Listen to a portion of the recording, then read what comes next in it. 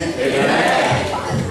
love the Lord, say amen again. We're thankful to God for blessing us to be here. I'm, I'm excited, I'm happy uh, to see all of this talent here.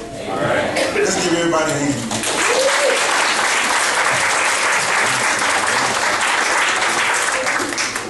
We have much talent in the body of Christ.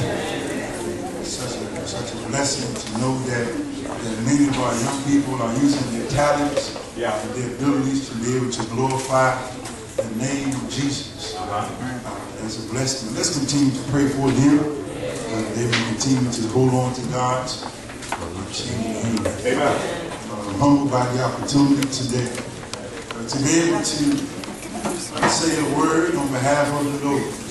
All right. For I don't mind uh, bragging on Jesus, Amen. telling everybody how good He's been to me. Surely He's been good to you. Uh, the scripture that we are given today comes from Philippians chapter 4.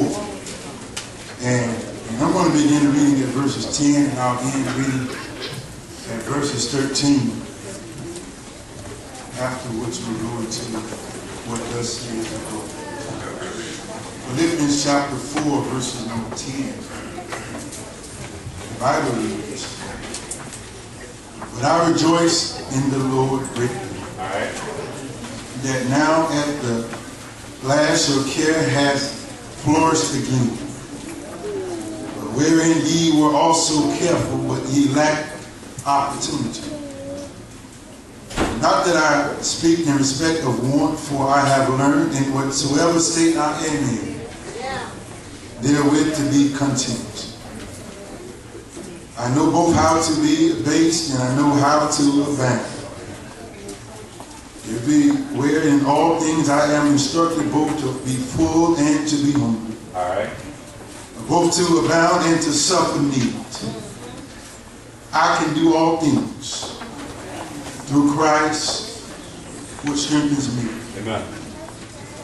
The theme of this fourth Sunday youth uh, fellowship is the power is within me.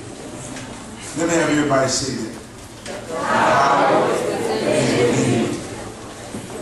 One of the greatest uh, detriments of man is that they believe that certain things they try to do is not possible. Here, as we look at the book of Philippians, see that Paul has begun to write a thank you note to the believers at Philippi. And he writes to them for their help in his time of need. And he began to use this occasion to send the essential thought, which is very simple. And that is only in Christ are real unity and real joy possible. With Christ as our model and as his model as humility and service, we recognize that we can enjoy oneness and purpose and attitude and a goal and labor in Christ Jesus. Here it is, we look at this text and we see that Paul exhorts the church here at Philippi to stand fast. He tells them to be of the same mind. He tells them also to rejoice in the Lord always. Tells them to continue to be prayerful to their Father which is in heaven. He also lets them know to let their requests be made known unto God. For the fact of the matter is that the Bible says that the prayers of the righteous avail as much. Here it is, Paul lastly tells the church at Philippi to recognize that there's peace in God. As we think about this uh, theme on today with these great young people and all of you that have joined together for one mind, which is to worship the Lord. Uh, the common uh, denominator that can either put you to the top or bring you down is that one believes or not. The Bible says in Hebrews chapter 11, verses number 6, but without faith, it is impossible to please God. He that cometh to God must believe that he is and that he is a rewarder of them that diligently seek him. Today it is incumbent and imperative upon you to believe that anything you put your mind to, you can achieve. In 1712, there was a young man, in essence a slave owner, by the name of Willie Lynch. Uh, Willie Lynch, he found himself believing that he had the remedy or uh, the protocol and how to instruct a slave to obey him. In fact, he went to the degree to say that what he practiced would go on for 300 years. Okay. Willie Lynch spoke to several slave owners, 1712, and he gave them the, the remedy of how to hold slaves in bondage, how to hold slaves to obey the master and him only. Here it is in a quote that Lynch uses or method. For he says, train or rather you take the meanest and the most relentless black man. You strip him of his clothes in front of the remaining male black men, in front of the female and the black infant tar and you tether him. Tie each leg to a different horse. Face in the opposite directions. You set him afire and you beat both horses to pull him apart in front of the remaining black folk. The next step is to take a bullwhip and beat the remaining black males into point to a point of death in front of the females and the infants. infant. Willie said, don't kill them, but put the fear of God in him, for he will be useful for future breeding. This speaks to us today. We find ourselves divided amongst each other. Willie Lynch used the common uh, principle to separate the lighter skinned black folk from the darker ones. Separate the female from the male. And he said that if I can get the fear in the female, or when she births an infant, she will literally tell her infant, don't you try, master. Master is the one that we depend upon. What you're saying, preacher, is that we often have come to a mentality that we believe that we can achieve.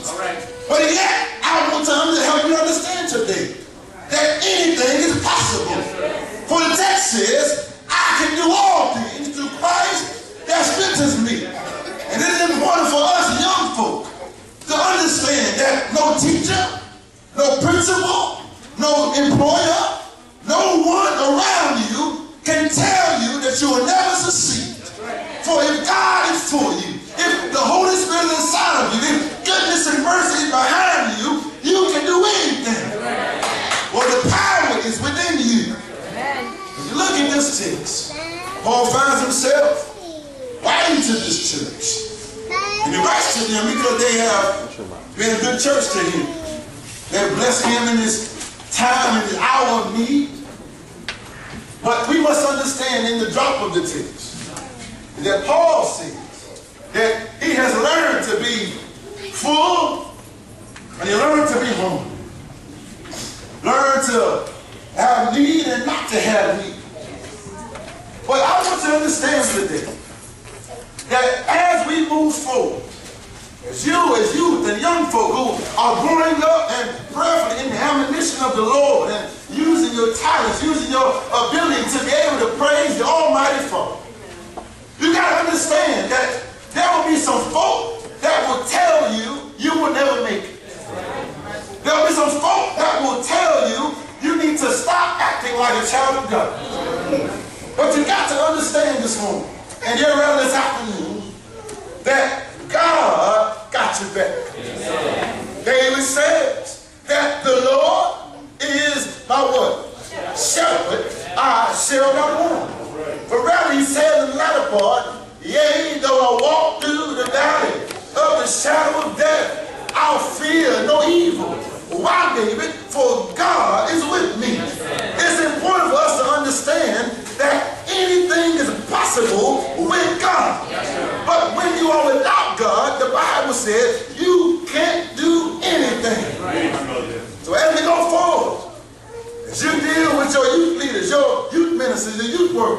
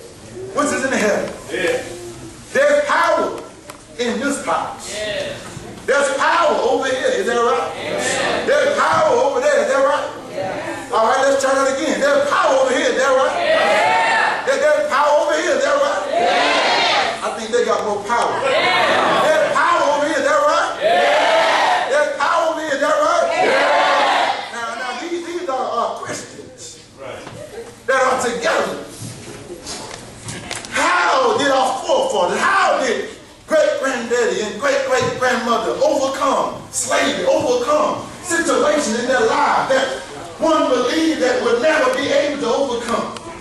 Because what they did is unify themselves. They got to a point where they said, forget Willie Lynch, forget him trying to scare us into submitting to him, to submit to failure, submit to fear, submit to not being able to succeed.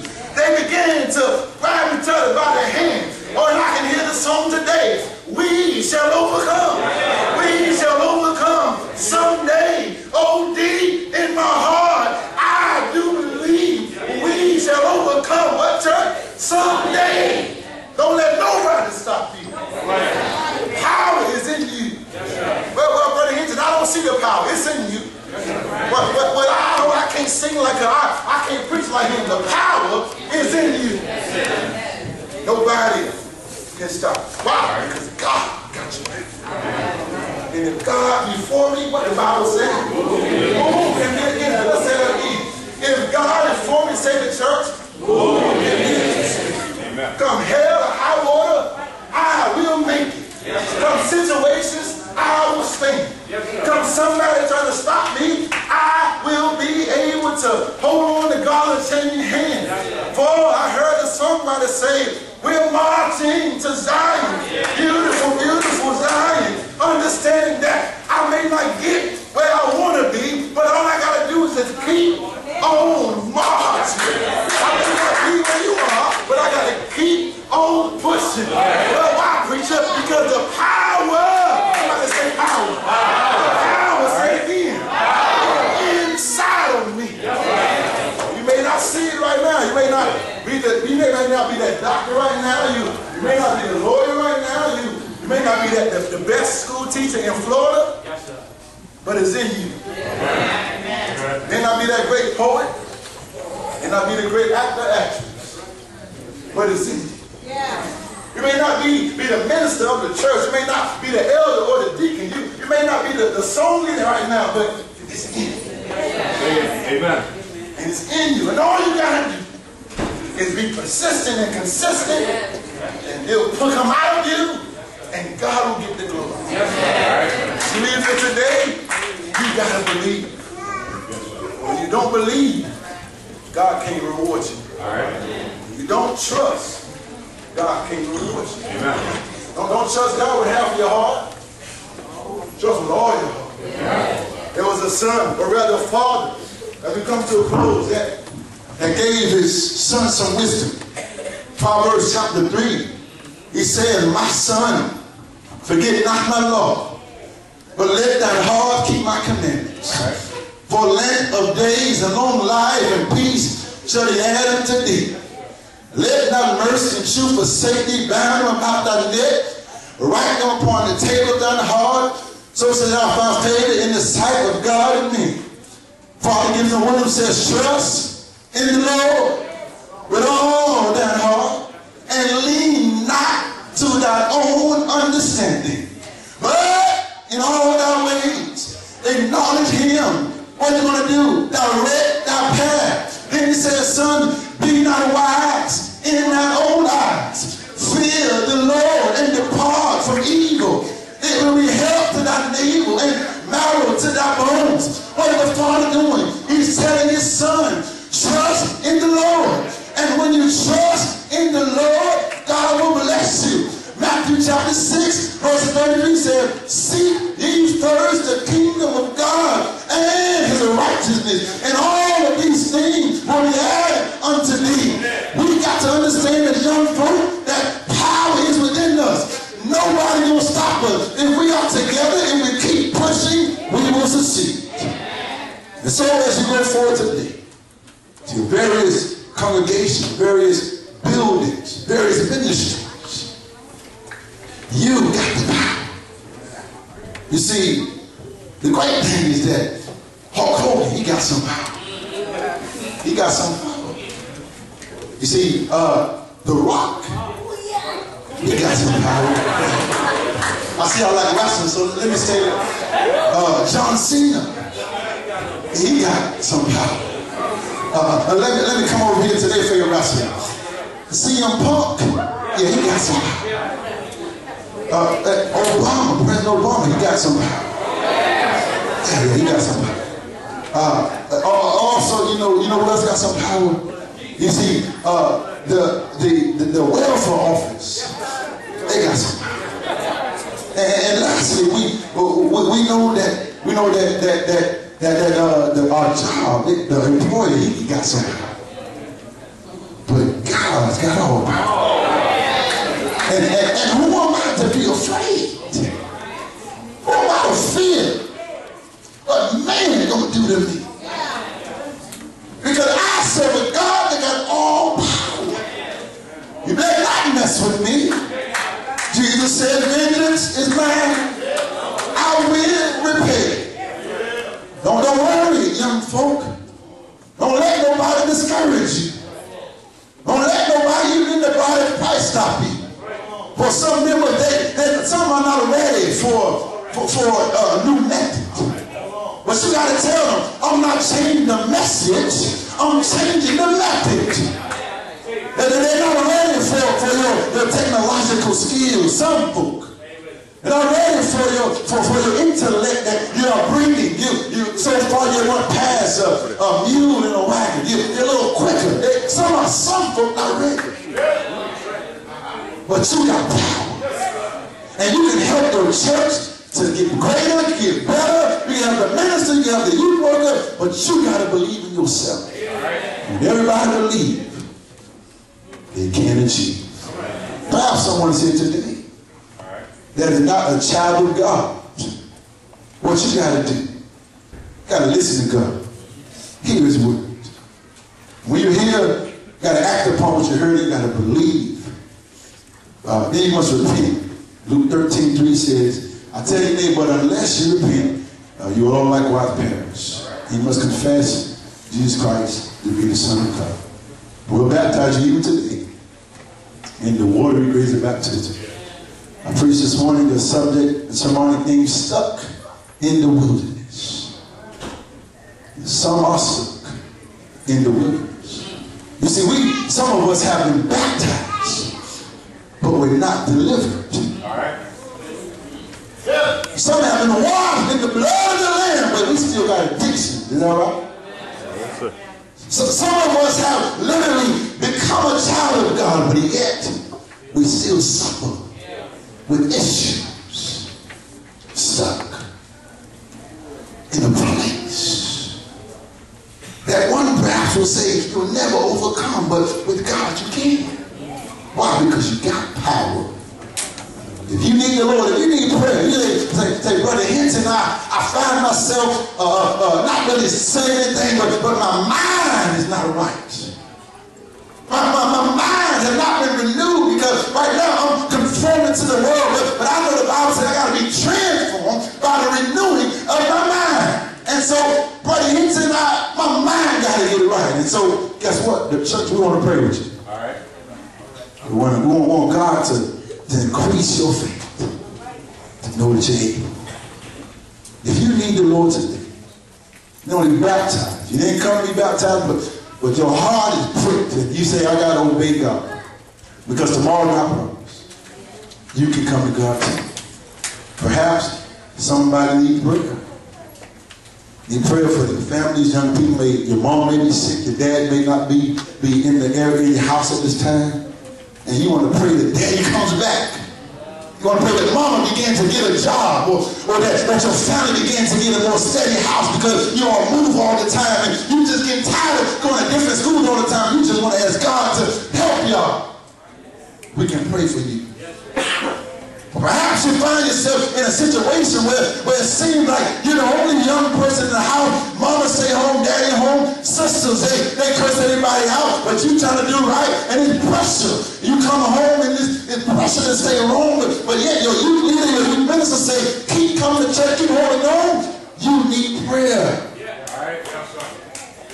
We want to pray with you. We want to hold your hand and let God have his way in the house. For why? Because we believe in the power of prayer. Because we know the prayers of the righteous. There's power. So much power.